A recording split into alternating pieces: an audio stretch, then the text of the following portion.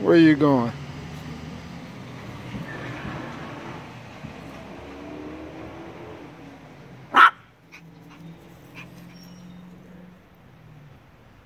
You bet not.